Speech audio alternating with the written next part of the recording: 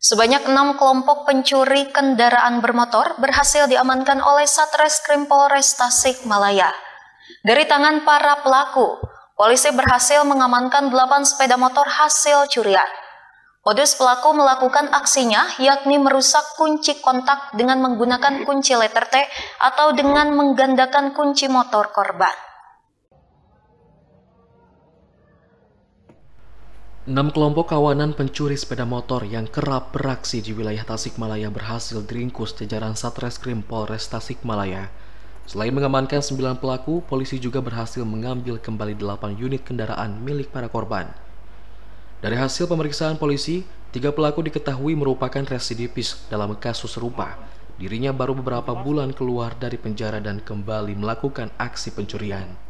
Selain itu, satu orang pelaku lainnya diketahui merupakan pemilik industri jajanan makroni di Kecamatan Lewisari.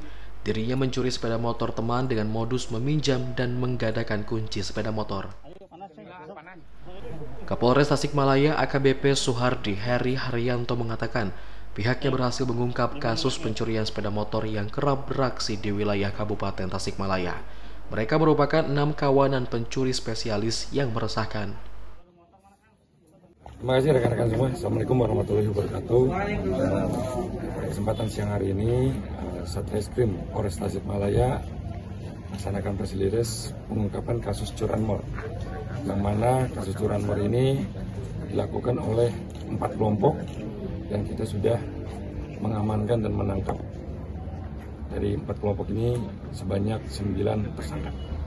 Dari sembilan tersangka ini semuanya melaksanakan ada di beberapa wilayah ya, dengan dasar kita yang sudah kita uh, kompulir itu ada 8 TKP yang mana TKP-nya ini ada di wilayah Cipatuja, Lewisari, Singaparna yang semuanya hampir yang sebagian besar di wilayah Kabupaten Tasikmalaya.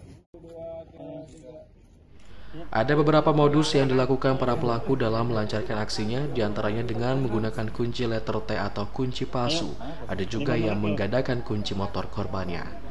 Atas perbuatannya, para pelaku diancam pasal 363 KUH pidana tentang pencurian dengan pemberatan dengan ancaman di atas 5 tahun penjara. Fajar Rivaldi, Benar TV melaporkan.